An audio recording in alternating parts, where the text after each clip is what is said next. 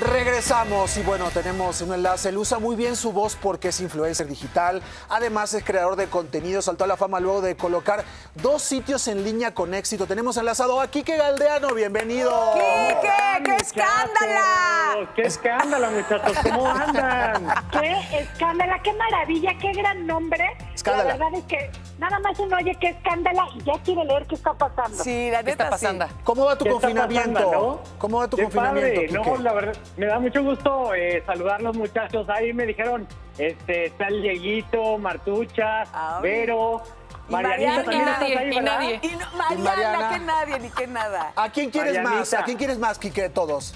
Pues A mí, la verdad a es que A mí. este, A Mariana. pues, A Mariana. a Marianita. Y el Diego está muy guapo, muchacho. Te quiero, muy guapo. amigo. Oye, Te sí, quiero. nada más que estamos con la sana distancia, si no yo No estuviera podemos- ya Sí. checando chamorro o algo, pero pues no, se puede. Sí, hombre, pero bueno, o sea, mantengámonos así y esto va a pasar más rápido de lo que queremos. Es correcto. Tienes toda la razón, mi querido Quique. ¿Cómo va el confinamiento? La verdad es que bien, tengo ya un mes eh, ya en casita. Eh, la ventaja de lo digital es que podemos hacerlo todo en casa. Entonces, sí tenemos eh, grabado pues bastante stock de contenido en Escándala, pero pues sí como quiera se nos está acabando y pues tenemos que eh, pues usar este tipo de tecnología, los Zooms, para, para crear contenido. Ya les tocaba a los hombres usar lo digital, era nada más de mujeres. Sí, Pues sí. ¿Sabes qué me pasa contigo? Bueno, te conozco bastante y, y- y te admiro. Que tú has levantado, hablando hoy de la voz, has levantado muchas veces la voz. Tienes una voz que se escucha en el medio, no solamente por el tema de LGTB y demás, sino que se escucha en los medios. Eres muy crítico de artistas, pero es muy neta. ¿Te ha costado Pues, levantar la voz?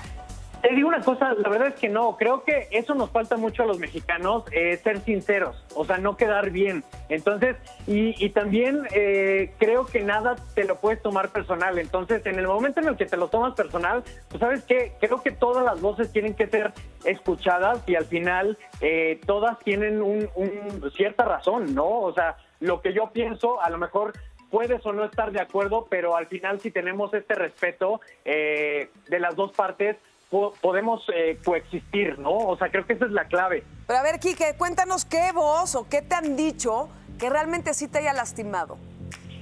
Ah, la verdad es que trato de no engancharme, pero de repente, eh, de repente la gente en redes sociales es, es muy ácida y es muy, eh, eh, insulta mucho, ¿no? Entonces, Sí. De repente trato de no engancharme, pero a ver, de repente dicen cosas que, ay, sí, sí, Te sí duele. te pueden llegar a, a pegar, pero tú tienes que estar consciente de, de definitivamente y fuerte, ¿no? Porque al final, pues, no conoces a esas personas.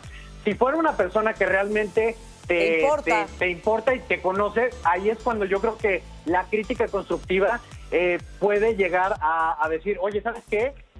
A lo mejor sí reviro mi, mi contenido para acá o mi opinión para acá y se trata de, de crecer, ¿no? O sea, Pero- no te puedes amachar en tu macho a decir lo que yo pienso es lo que, lo que tiene que ser. Pero ¿no? ¿sabes qué? Creo que es importante, y tú lo has dicho ahorita en redes sociales, es muy común que te tira una pedrada alguien que ni siquiera tiene un nombre, que Ni tiene foto. ni una foto ni nada. Sí. Entonces, esa, esa gente también está haciendo una crítica injusta y cobarde, ¿no? ¿Sabes qué? Es muy fácil estar detrás de una computadora o de un celular. Eh, ese tipo de cosas. Yo de repente sí, a los bots o así, les aviento periodicazos en el hocico, así se le llama en, en internet.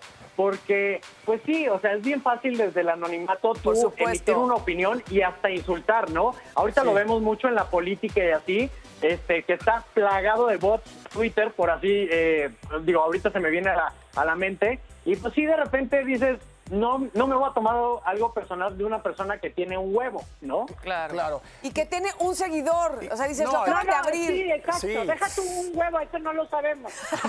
Tienes que ser más propio. Saludos al Pero- pelón Gomis. Exacto, saludos a los monohuevos.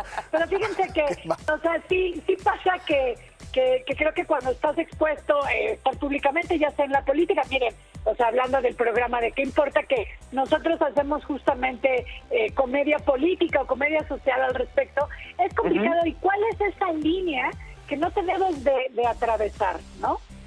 Yo creo que es, es bien fácil, o sea, en el momento en el que ya llegas a un insulto o a intimidar a alguien, ya te estás pasando de la línea. Creo, creo que puede, podemos debatir de una manera muy respetuosa, ¿no? No tenemos por qué ser ni soberbios ni, ni groseros, o sea, creo que esa es la línea que no hay que cruzar. Podemos debatir ideas políticas, incluso religiosas, o sea... Quique, pero ¿qué pues de- tal cuando atacan el rollo de la sexualidad?